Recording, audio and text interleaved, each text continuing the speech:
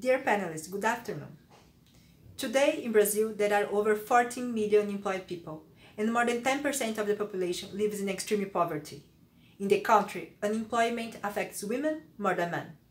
During the pandemic, the national government failed in assuring socioeconomic security for many vulnerable groups. It is well known that socioeconomic vulnerability increases the likelihood of a person being trafficked and exploited for labor purposes. In 2021, more than 1,000 workers were freed from forced labor, the majority of which were trafficked. This number is already higher than the total amount of people rescued in 2020. Despite the fact that more than 56,000 workers were rescued from forced labor in the country so far, the government has neglected the need to increase the number of federal inspectors, and we fear the budget for the operations will run out next year.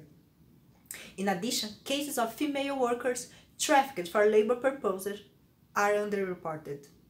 Women exploited in domestic and care work are still invisible, since these activities are not considered profitable and productive.